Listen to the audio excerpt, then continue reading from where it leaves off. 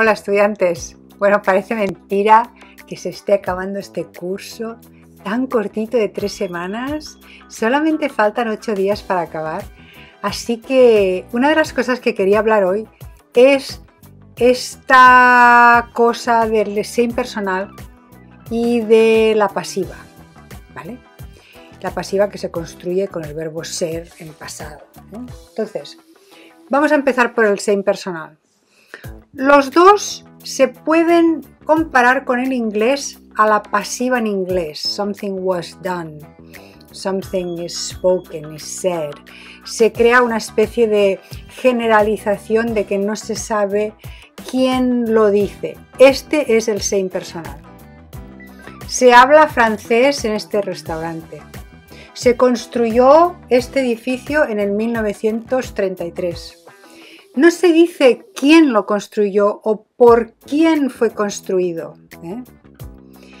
Ese se llama impersonal por esa razón. Es decir, que son dos maneras de hablar en pasiva. Vamos a ir ahora a la pasiva con el ser. Esto lo vais a ver en la lección y en las actividades, ¿vale?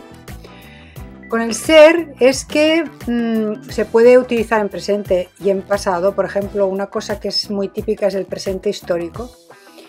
Em, América es ah, colonizada entre los años tal y tal, por ejemplo. ¿no?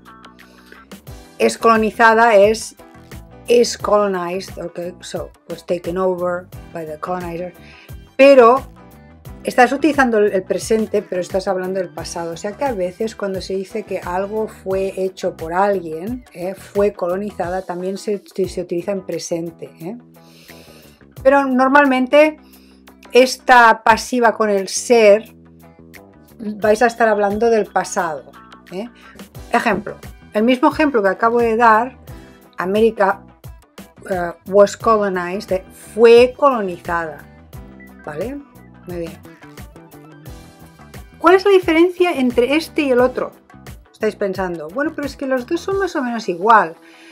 Es que este, el segundo, el, la pasiva con el ser, dices quién lo hizo.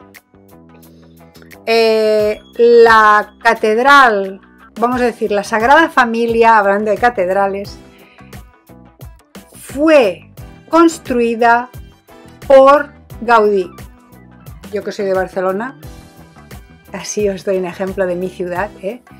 fue construida por tal y cual. Tal y cual means so and so. ¿eh? Um, so that's the key.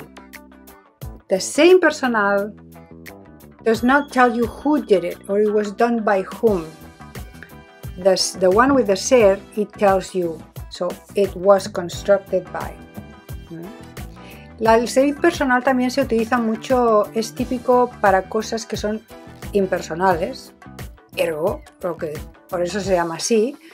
Como por ejemplo cuando entras en un restaurante y en España o en donde sea te dicen um, We serve paella here. Se sirve paella, no sé, a las 3 de la tarde. I'm just making something up. ¿eh?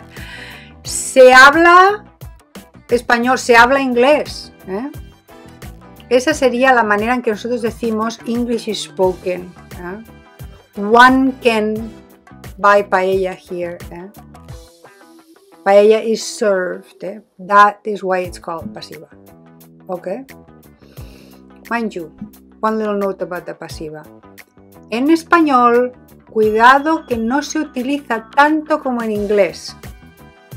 Eso ya lo vais a ver cuando estéis en un curso más avanzado. Pero solo quiero dar un, like footnote aquí, una nota de pie de, página. Es footnote, ¿eh? pie de página. ¿eh?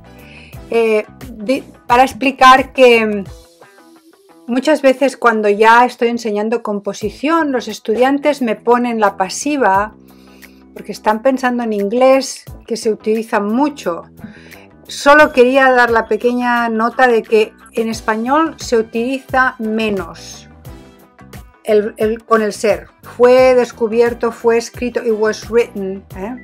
Se dice lo escribieron, se escribió.